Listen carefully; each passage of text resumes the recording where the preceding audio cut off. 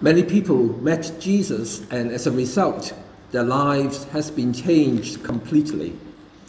And today, in our series of meeting with Jesus, we read of this person, Matthew, and how he met Jesus.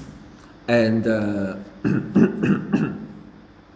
so, what we are going to do today, sorry, through our Bible reading is to consider, firstly, at the meeting of Jesus, at the meeting of uh, Matthew with Jesus, Jesus gave him an invitation. And then secondly, not only this invitation has made such a big change in his life and his direction of, uh, and, uh, and he in turn extend an invitation to his friends and then thirdly, uh, we are going to look at some of the reactions and criticism drawn as a result of uh, the invitation of people to his home. And then fourthly, we are going to look at Jesus' response and his open invitation to anyone who cares to seek him. So, who is Matthew? Now, in our scripture reading in Luke, we read Jesus went out and saw a tax collector by the name of Levi sitting at his tax booth. Now, this person, Levi, is the same as Matthew, as recorded in the parallel passage in Matthew chapter 9. And if you look at uh, another passage in Mark 2, it speaks of the same event. It's the same person who has been known as Levite to some and also Matthew to others. Now that's not uncommon. And uh, for us coming from overseas, we probably have a Chinese name and also uh, uh, English name with, Chi with uh, Chinese name translated in English. So my name, Wang Tai, is an English name, but then many of us take on a different name, like Peter David, on top of their given Chinese name. So therefore, um, Matthew has two names, and it is the same person. Now, what is his profession? He's a tax collector, and uh, simply means someone collects taxes from the people in the society now, why did Jesus invite Matthew to follow him? Because we read in verse 22, 27, Jesus said to him, Follow him. And Matthew got up, left everything, and followed Jesus. Now, there's no reason given in our narrative or in the parallel passage in Matthew or Luke, uh, uh, in, or this is Luke uh, in Mark. And uh, I wonder what did Jesus see in Matthew to extend his invitation? Again, the scripture did not offer any detail either. But one thing we can be certain of is Jesus see in him, Matthew, that uh, it is something that attracts Jesus and he wants Matthew to be one of his followers. Now, would you respond to Jesus' invitation if you were in his situation? Look, in this simple invitation, to follow me, there is no promise of any financial gain or personal glory. He just simply say, follow me as one of my followers. Now, Matthew, at, this, at that point in time, enjoys a good life because of his career as a tax collector. In verse 29, we read he has a big house, a house big enough to entertain a large number of people. He probably had servants or slaves to serve his family because that's where he hosts a big banquet for his friends. So at that point in time, to follow Jesus would mean to give up a comfortable lifestyle and to face an almost uncertain future. But we read he has no hesitation to follow Jesus. In verse 28, we read the three verbs to describe his action.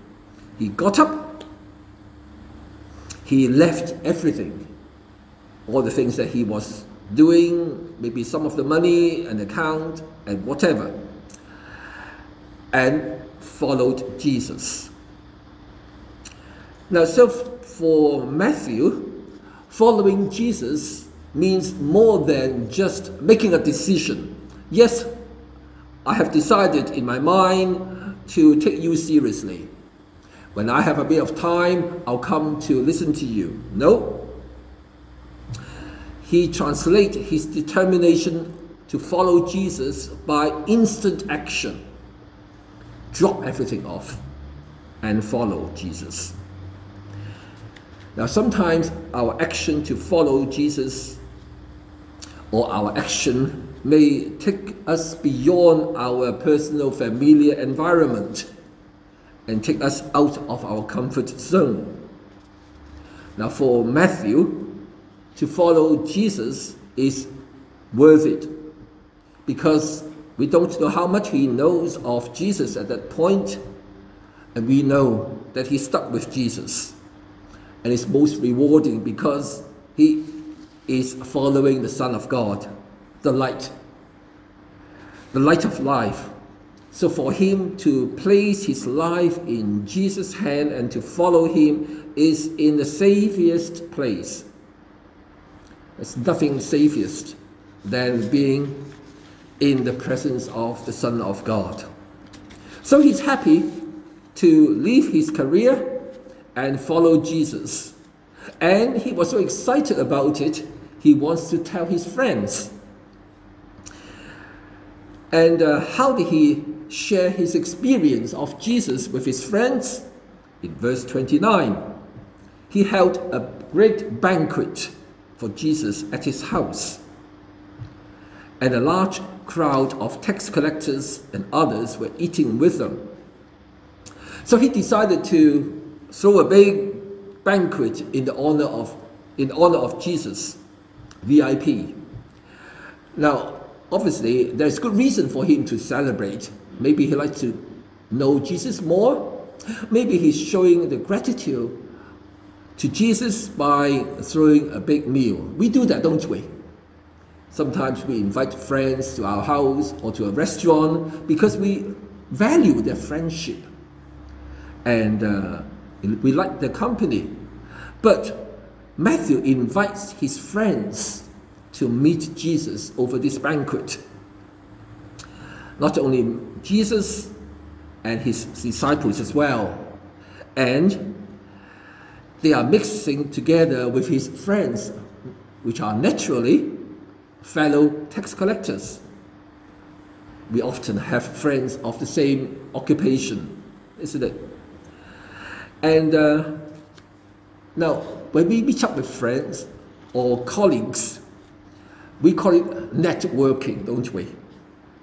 And uh, we like to do so because it is advantageous to us to have networking with the right kind of people, hopefully, that will bring us success.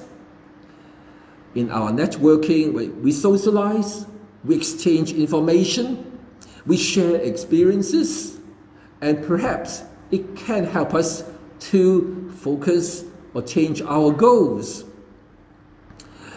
Now, Matthew is not having that kind of networking banquet because he wants them to come to know Jesus.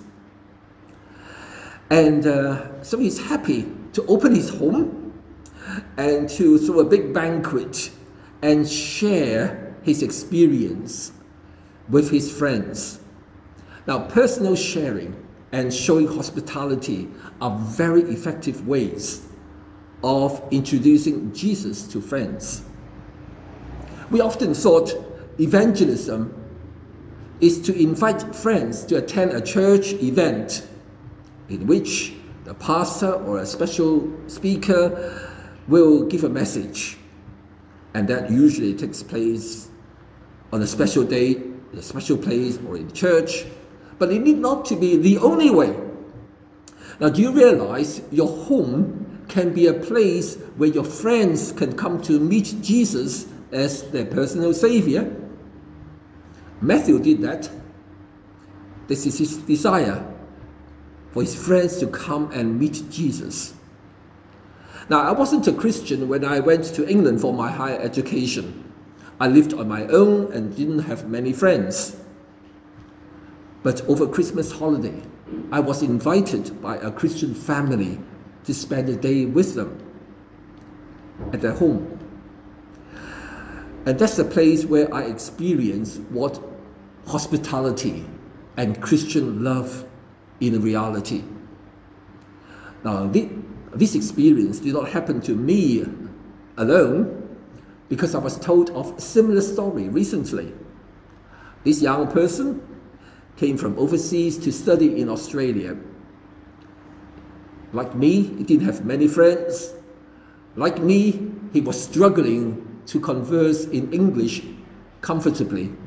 Yes, we study and use English in school in Hong Kong, but to be able to, to, to, to speak fluently takes some courage. And he hasn't got the self-confidence or the courage to do so.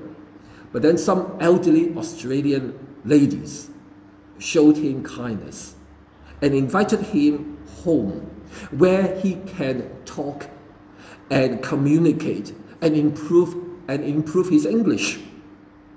And as a result, he said he noticed what Jesus and Christianity means in reality through the lives and the interaction and hospitality of these few elderly Australian ladies.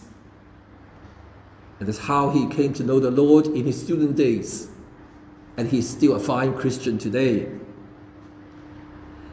So, hospitality and personal sharing is a very effective way to introduce Jesus to friends. Are you prepared to use a home to show hospitality? You need not organize a big banquet like Matthew. You don't need to preach well because Matthew at that time wasn't trained yet. He just simply followed Jesus. So I would imagine when he is sharing with his fellow tax collectors, he just simply say, look, this is how I found this Jesus in my life. And, uh, and this is how he extended his invitation to me. And it means so much that I'm willing to drop my career, to leave everything, and follow him.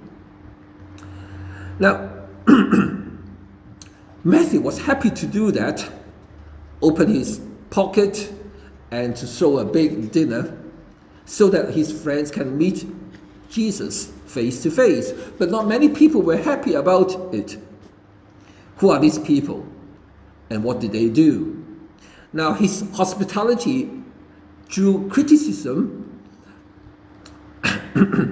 and it is in verse 30 we read but the Pharisees and the teachers of the law who belonged to their sect complained to his disciples, that's to Jesus' disciples, Why do you eat and drink with tax collectors and sinners? Now notice, the criticism was directed at Jesus. And uh, they are complaining this to his disciples. So, what is their criticism? simply means Jesus should not be eating with this lot, tax collectors and sinners. And that's what they are in their eyes. Now, perhaps this criticism would not mean much in our 21st century mind. Can't I eat with whom I like? Surely I have the freedom to invite people home, especially this is a private function. But in their criticism, these religious group, Pharisees and the teachers of the law, implied that if Jesus is worthy of our attention, then he would not have associated himself with such characters, tax collectors and sinners. Now, firstly, who are the Pharisees? Well, they are an ultimate religious group in, in the days of Jesus. And uh, they are so determined not to break any of God's law. So they devise over time extensive system of oral tradition to keep them from breaking the law of God. So, in short, they reduce the God's word into a set of code of practice, do's and don'ts. Now, they're not the only people. Even today, there are many people who have this misconception. When I became Christian, my friend told me, ah, you can't do this now. There are a lot of, you must do this because you are a Christian, you mustn't do this. You cannot do this. Now, for the Pharisees, in order to keep the Sabbath holy, which is clearly written in the Ten Commandments, so they work it out. Well, how do we keep the Sabbath holy? It's not just a day of rest physically, it's not just a day where you can direct your attention and worship God. You mustn't do any work so that you can keep the Sabbath holy. Now, so what is work? Is cooking work? Now, on one occasion, when Jesus and his disciples walked past a field, and uh, the disciples were hungry, and uh, like what most people, you perhaps and me included, would have done the same thing. As they walk by, they pluck the head of grains, they rub it on their hand, and they just simply put them in their mouth. Now, it is quite all right for the Jews to do that. However, they cannot do that on the Sabbath. But for them, plucking means harvesting, rubbing the head of grain to get rid of the, uh, the, the, the outer layer. There is grinding. And for them, this work violates the Sabbath law of no working. You see the point? And on one occasion, when Jesus restored the sight of a blind man on the Sabbath day, and what did the Pharisees say? Was recorded in the, in the Gospel. They said, This man, Jesus, is not from God because he does not keep the Sabbath. So on this occasion, you can almost see the face and the pointing finger of the Pharisees. This Jesus cannot be from God. He is not worthy to be listened to because he is not keeping away from these people, tax collectors and sinners. See the arrogance of these Pharisees and the religious teachers. Now, so what is so bad about being a tax collector? Well, not many people like to pay tax. In the past, in the present, and also in the future. Tax collectors are never popular in any society. In the days of Jesus, tax collectors were seen as social outcasts. They are to be rejected. They can't even attend a religious meeting in a synagogue. What do they do under the Romans' time? Well, the Roman government has a way to collect taxes. What they do is they will decide the amount of tax to be collected in a district. Say, for example, they will look at the population and the trade and the living standard in Glenhaven. And they decided, just for the sake of illustration, the tax to be collected is 1 million. How do they go about it? Then they will sell the right to the highest bidder. So as long as you put up the bid and say, look, I will promise to get 1 million for the government for this year, then I'm willing to be the tax collector. So, as far as the collectors are concerned, anything that they manage to get over and above the 1 million will be theirs. They're entitled to, to retain whatever else they could extract from the people. And the ordinary people had no idea how much they should pay. So, therefore, in the eyes of uh, the Jews, the tax collectors are not only traitors working for the Roman authorities to suppress and bleed us to death. Now, what kind of taxes do they have to pay? It's interesting, just to share that. The first one is poll tax. In other words, any man aged 14 and above, below 65, has to pay tax. Any woman from age 12 to 65, again, you have to pay tax regardless of your income. You have to pay for the privilege of existing. That's what it means. Secondly, there is a ground tax. In other words, you pay 10% of all your grain harvest and 20% of all the wine and oil products. On top of that, you pay income tax. Now that's the tax to the states. And what about other duties? Like our present system, we have to pay uh, toll road in certain places. If you get into uh, uh, certain roads, you have to pay. Same there. On some main roads, harbor, big markets, you have to pay at the entrance. If you are carrying any goods with you, you pay more. If you carry a cart on the wheel, whether it is pushed by yourself or pulled along by animal, you have to pay. On top of that, they have GST. GST is not a recent invention. You pay purchase tax on certain articles, imports and imports. And you can understand why tax collectors are not popular.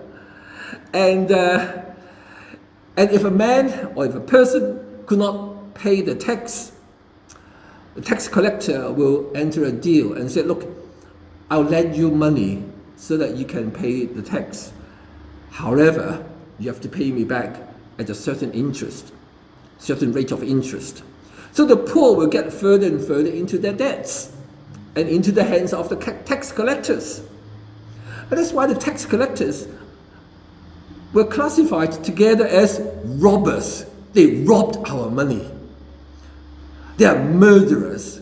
They take away what is precious to us.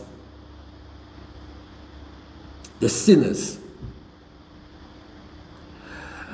Now, for the Pharisees, they would not even let their robe touch the likes of Matthew and these tax collectors if they walk along on the road.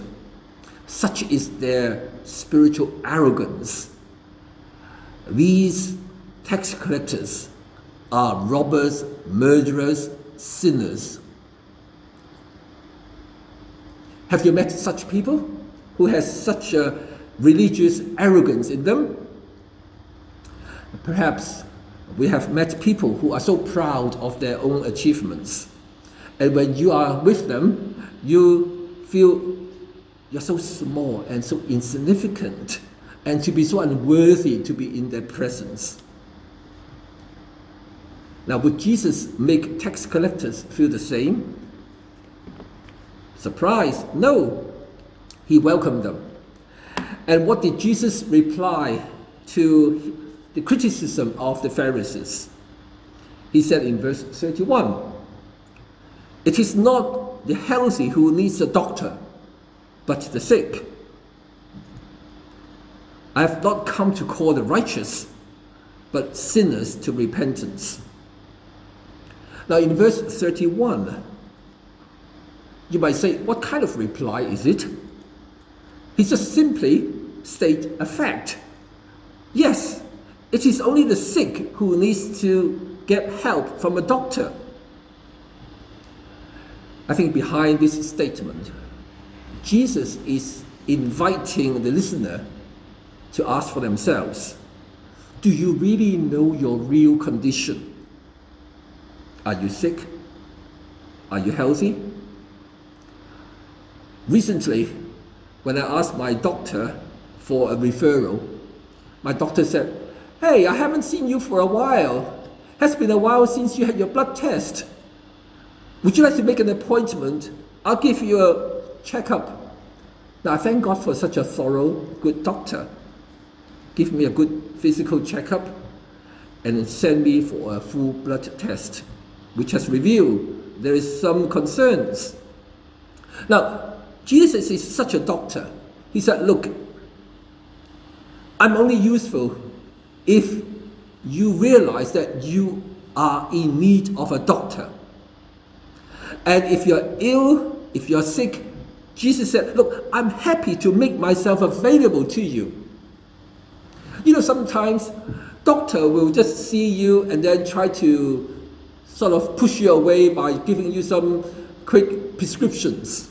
I've been told in some occasions they just give you some vitamins and then send you off. But Jesus is a good doctor. He listens. He spends time with you. He gives you a good, thorough checkup. And he helps you to recover. Now, in his public ministry, for those who came to him, some of them have different, uh, different needs. Some were not able to walk. They had to be carried by friends. When Jesus healed them, the lame was able to walk.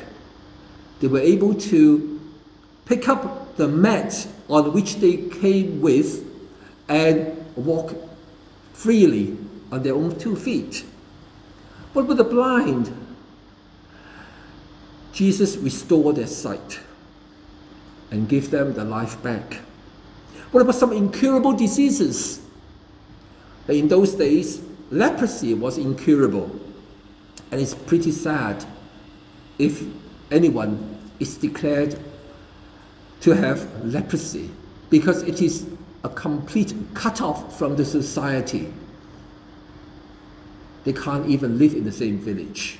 They have to live outside. And if anyone who likes to help them, to give them food, they have to leave them outside where they live. And then when they've gone, then those with leprosy will come out and collect the food for themselves. No work, no income, and no contact whatsoever. We know what's like under the COVID restriction, isn't it? I know a friend who told me, he said, look, if I have to stay within this four wall any longer, I'm going mad. Now, Jesus healed them. And uh, so Jesus said, it is not the healthy who needs a doctor, but the sick. When did you last see a doctor? Perhaps you say, I don't need to see a doctor because I'm well. In that case, good. Thank God for that.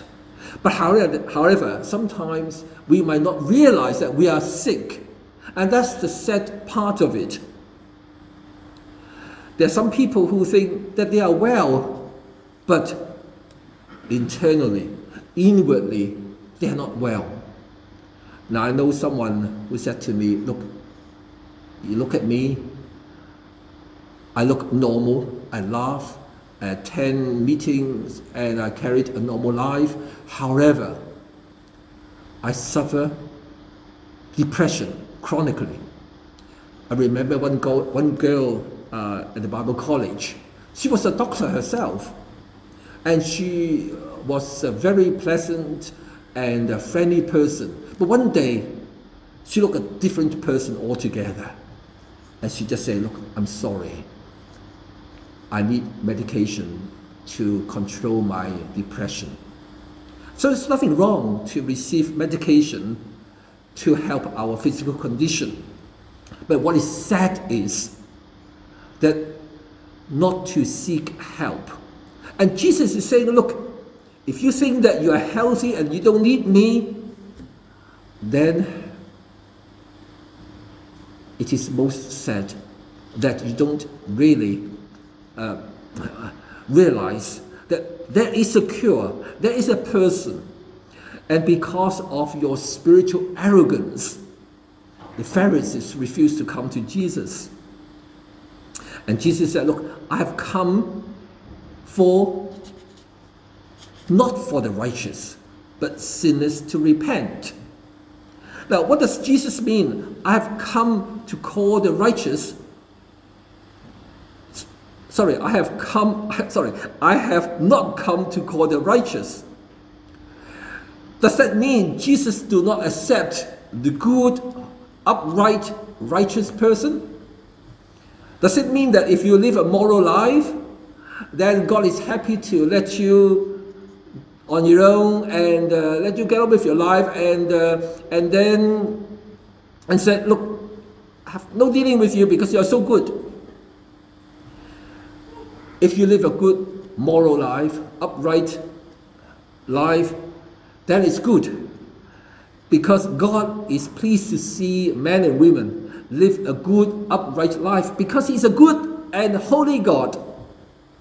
But in reality, can anybody claim to live a life free of sin? Can anyone claim to be right and I can stand up before God's close examination? But what Jesus means is, I come for the sinners. If you think that you are righteous, if you think that you're too good for good for God, then your arrogance has turned you blind to your real sickness. Your arrogance has stopped you from seeking help. But Jesus said, I will have time for anyone, even the sinners, even the social outcasts, even the tax collectors.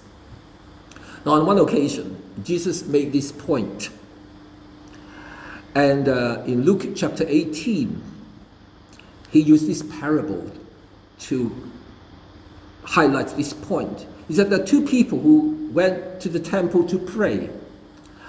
One is a Pharisee, this religious, pious guy.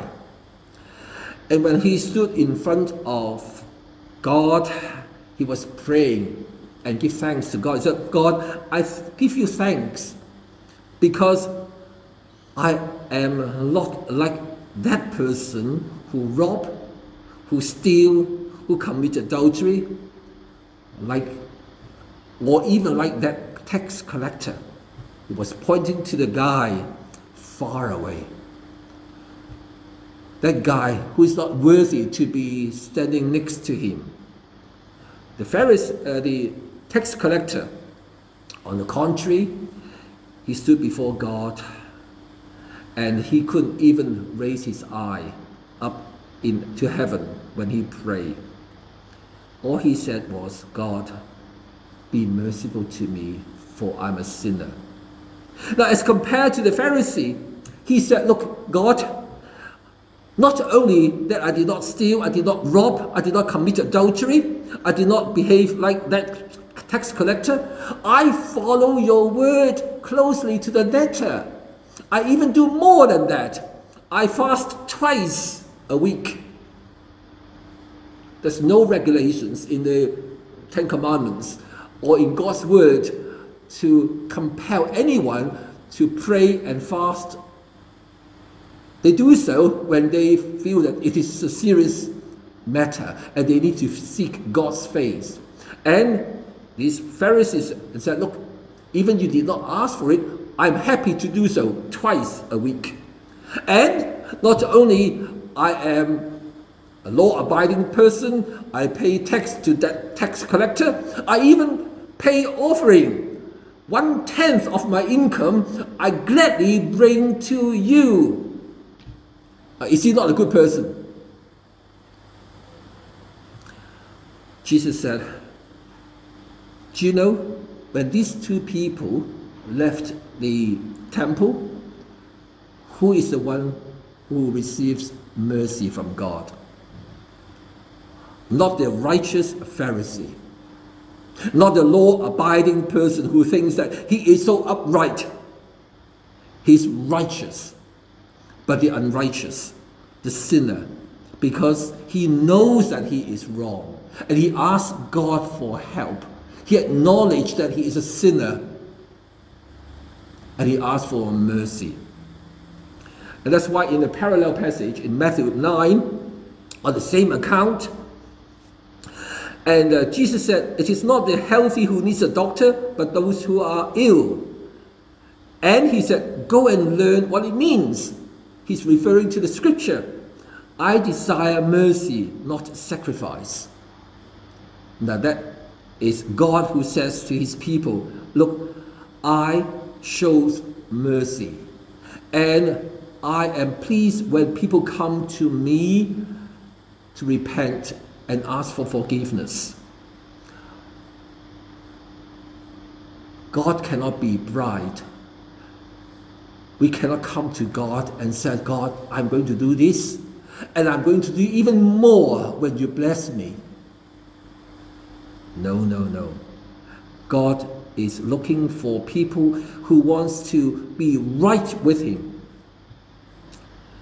Are you sick? Do you in need of help? Well, maybe some of us need help, need to be healed physically. Yes, that's why we pray for one another. We know that God is a gracious God, and He is able, if He so will, to bless us with good health, health and to help us to recover and grant us the ability to recover, sometimes through medicines and sometimes without medicine.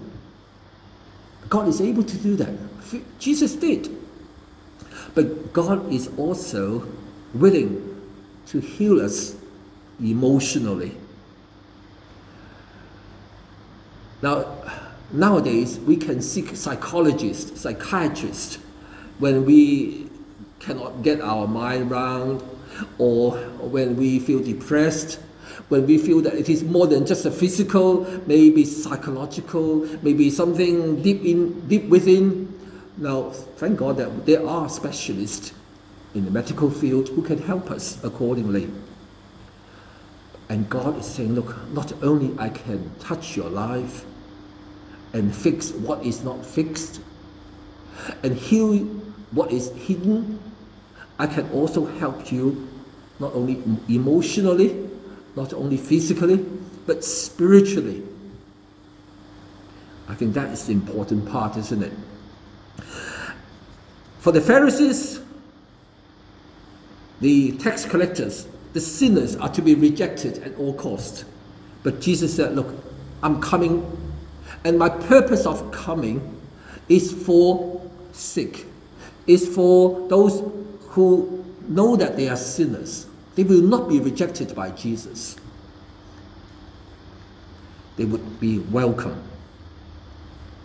Now, in this passage, Matthew met Jesus, and as a result of his response to follow Jesus, his life turned completely. We knew from the scripture that he was one of the 12 apostles. In Acts chapter 1, after Jesus' ascension, he was one of those 12 who took the commission of Jesus and go and preach the good news of Jesus to all nations. So, obviously, he has changed his career. Now, God may not need us to change our career, but God is also looking for people who are serious with Him.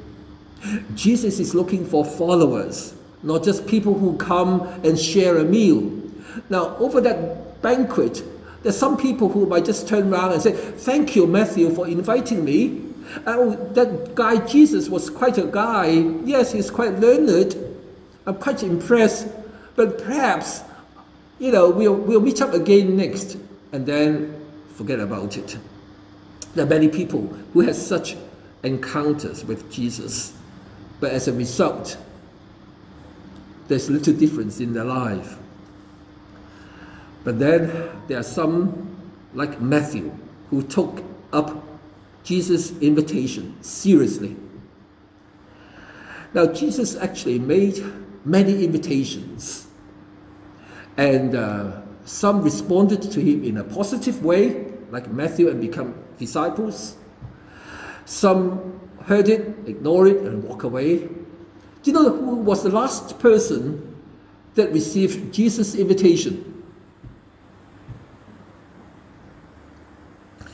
Well, when Jesus was on the cross, he was dying. And next to him, there were two criminals, and they were also dying. One guy said to Jesus, Look, if you were the Son of God, then why are you hanging up there? You're just like us, being punished and suffering on the cross. We're dying. And this is the last breath. If you were the Son of God, come down, then I will believe you. Now, he was obviously teasing rather than seriously doing so. Because the other guy, the other criminal, who was also dying, getting his last breath, told him off and said, Look, you and I suffer what we deserved. We're sinners, we're criminals.